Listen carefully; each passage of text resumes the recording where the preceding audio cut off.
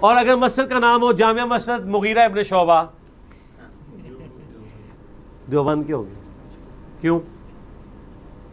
اس لیے کہ وہ اسپیسیفائی کرتے ہیں صحابہ کرام کے ناموں کو، اور اس میں بھی انہوں نے چن کے نام رکھے ہوئے ہیں۔ میرے آفس کے کلیگ ایک دفعہ میرے پاس آئے۔ مغیرہ ابن شعبہ کو کون جانتا ہے؟ عام مسلمان۔ مولوی ٹائپ لوگ عام مسلمانوں کو تو ابو بکر، عمر، عثمان، علی کا ہی پتہ ہے، یا اشرم و بشرا کا۔ یا ہماری وجہ سے میرے شام کا بھی تھوڑا بہت پتہ چل گیا۔ ورنہ عام بندوں کو تو چیدہ چیدہ صحابہ کے نام آتے ہیں۔ تو میرے آفس کے کلیگ مجھے آگے کہتے ہیں کہ یار وہ ہمارے محلے میں ایک مسجد ہے۔ تو اس میں نا چار نام تو مجھے سمجھ آتا ہے لکھے ہوئے ہیں۔ تو انہوں نے تین نام اور بھی ساتھ لکھے ہوئے ہیں۔ میں نے کہا یہ چار کے ساتھ تو چھ نام اور آ سکتے ہیں کہ اشرا مشرا کی پوری گنتی ہو۔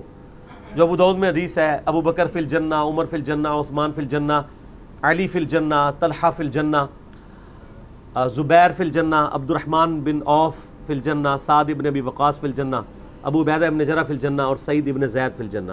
دس صحابہ، یہ کون سے تین ہیں؟ تو کہتا ہے بڑے عجیب سے نام ہے، میں نے ان میں سے کہتا ہے مجھے ایک نام تو مجھے پتا ہے۔ میں نے کیا کہتے ہیں؟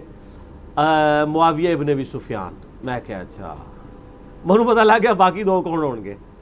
امر ابن آس مغیرہ ابن شعبہ رضی اللہ عنہ مجمعین جان بوجھ کے ایسے نام جس سے وہ کسی کو میسج دینا چاہ رہے ہوں۔